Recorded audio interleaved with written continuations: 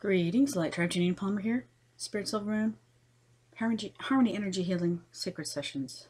Uh, and the video today is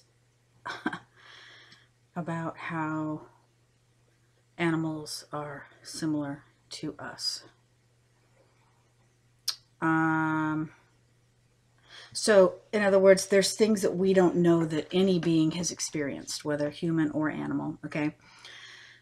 Um, and so we might see a behavior and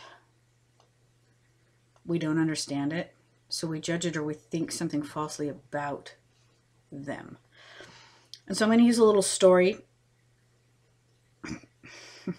okay. Little things flying around.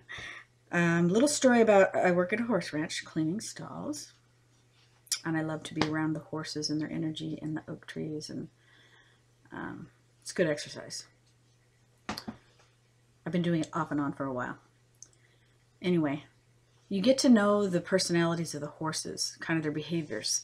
And we don't know what they've been through. You know what I mean? The horses come to this ranch that are rescues, probably, and um, we don't know what any being has been through. So some of them have such a well, they they're all beautiful energy, but I mean, some of them have like a really uh, lovely, nurturing, kind, accepting energy. I mean, you almost can't even describe it. Like they'll just come up to you and they're just so accepting and their energy is healing. It's very beautiful. And other ones are more standoffish. Maybe they're afraid or skittish or whatever, but maybe they're still interested. Maybe they'll still be brave and stick their nose out and let you touch them. Um, but this story is about there's a there's a foal there it's a not even a yearling, probably a filly. And I hadn't seen, I saw her once when she was a baby. I hadn't seen her for a while. I knew her mom. Her mom was a big black thoroughbred, very tall. And she was fun and quirky. When I would clean her stall, she would straddle my barrow. I mean, it's a huge wheelbarrow, and she would straddle it. She was so funny. Um, anyway, she had twins, and one of them died. I think it was a boy that died. So it was just the mom and the baby girl. And then I heard that the mom colicked and died. Right? So I go out there the other day and she's out in an outside pen and I knew who she was. And um, she loves her owner. I saw her come up to her owner, but she's she, she might be curious, but she's very standoffish. Like um, she won't come up to you, you know. And so someone might look at that horse and think, oh, that it's unsociable or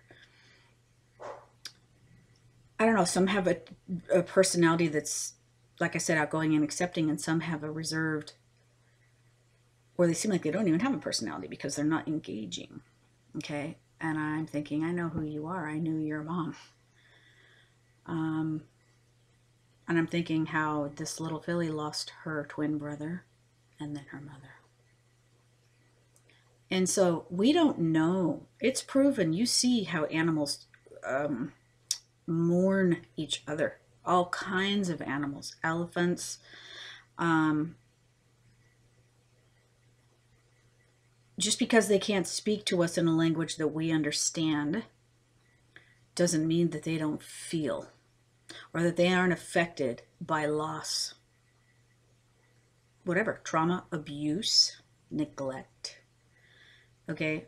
That doesn't mean that they aren't affected. So you know we might somebody might come and know nothing about that horse and think oh that horse is a bitch. Really? Well did you know that horse lost her brother and her mother? And she's not even a year old? You know what i mean? I'm using the horse as an example. So a lot of people see a behavior and they judge it. Now um, again everybody's been through wounding. If you're here in earth school you know you've experienced some shit some people lose a parent or parents. Um, some people are neglected as a child and they're adopted and they have issues. Uh, some people lose siblings, best friends, mm, homes, all kinds of things are lost. It feels like they were taken from us.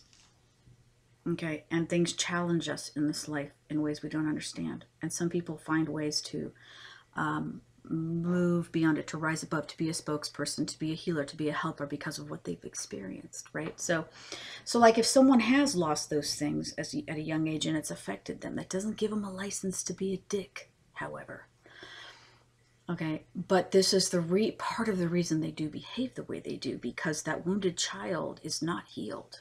Okay, so you see the behavior patterns coming out. So you can have that understanding for that. You can say, okay, I understand why this person is being so horrible. Okay, but I don't have to allow it into my space.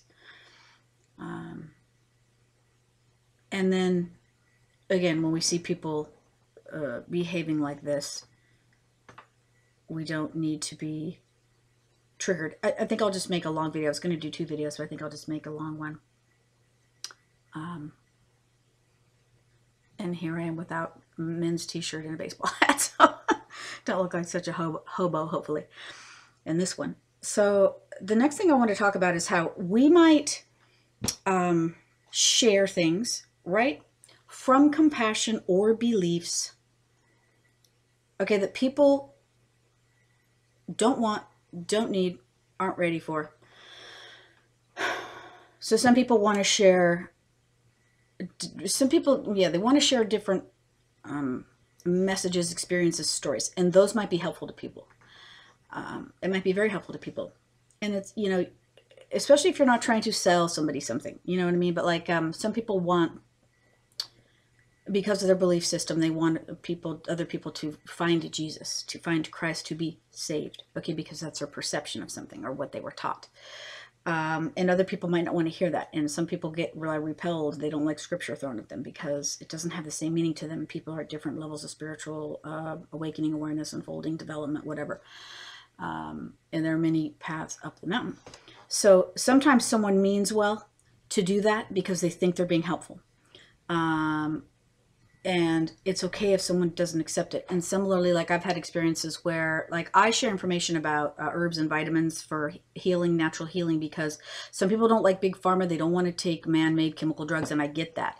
Um, i'm that way to a degree uh, and i feel like you know if you can stay away from that stuff that's great. But like if there comes a time that you need it that's okay too um, but some people get addicted to it. So some people think it's okay to be addicted to alcohol uh, or pot, but that they can't take, you know, ibuprofen.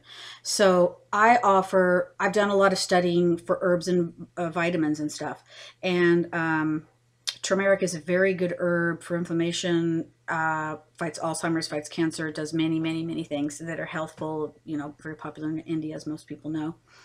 Um, and sometimes if people are healing from surgeries or inflammation of something they have something sore I, I, tell people about that. And so i shared that information because sometimes i know people you know want more natural stuff. And i do it because i care. In, in other words um, this might be helpful i'll tell you about it right? And then sometimes people just slam me to the ground. Like nope i'm not taking those pills Okay, it's an herb. It's a root. And it's ground into powder and put in capsules. Okay, so it's not like drugs. It's, a uh, you know, God put certain things on this earth uh, to help us to heal. And some people don't know about certain things that might be helpful to them. So we can share that information. If they don't want it, they don't want it. Okay, but sometimes people's reactions are so severe and extreme and so resistant that it almost seems uh, arrogant and disrespectful, right? And you think, holy shit, you know, um, and then you know that's where we get to decide how we are going to react to that. It's like someone is so staunch that they just do not want to hear it. And it's the same thing with so many messengers um, on the planet throughout history known and unknown masters teachers who came to share a message that some people weren't ready to hear. Attack the messenger think they're whacked out whatever. Uh, some people just aren't ready for certain things and that's okay. Um, so you know we have stories we can share our stories, what we learn from our stories, different perspectives, but uh, we're not our stories, and hopefully we shouldn't stay too stuck to our stories, but we can share what we learned from them, which might be helpful to others. Um, so yeah, this is just a story about how, uh, what I noticed with that little horse, and uh, wanting to share the similarities, uh, if that's at all helpful to anyone. And again, um, we can share things that we feel strongly about, but not everybody's going to hear us. They're not going to understand it the way we do. And that's okay. And so when someone seems extremely rude to you, um, you know, we don't know what space they're coming from. And um, our first trigger might be feeling a little bit of offended, but if you can rise out of that, like to say, you know what, I don't need to be offended by that behavior. Um, you know, when you try to do something nice or something kind or from compassion and someone shuts you down, it's okay. It's not okay to let people disrespect you, but what I mean is some people aren't going to want to hear you. And that's okay. But it's not okay to let people dishonor you and disrespect you. And we should, we are a voice, we have a voice, and we should um, feel that it's okay and give ourselves permission to stand up for ourselves uh, if and when it's necessary and to communicate. Peace.